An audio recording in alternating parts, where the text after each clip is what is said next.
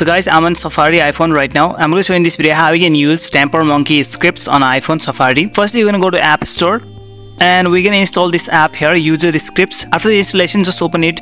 Firstly, you're going to set the directory. Just tap on set user scripts directory and choose any location that you want. Okay, I have made a separate folder here, user scripts, and I can choose this folder and open it here. Now the directory has been set. We're going to go to settings now. Inside the settings page, we're going to go to Safari, scroll down here and tap on extensions and tap on user scripts and just turn this on here let's turn it on scroll down and for the permissions just tap on all websites and tap on allow here go back now we're gonna go to safari now we can install Tampermonkey or any other user scripts from the Safari itself. I'm gonna search here Greasy Fork scripts tab here and tap on scripts and we're gonna install one script from here. Let's test this one. Scroll down and we can install this script. What you're gonna do to install this script is that tap on this extension button on the URL box, scroll down here and tap on user scripts.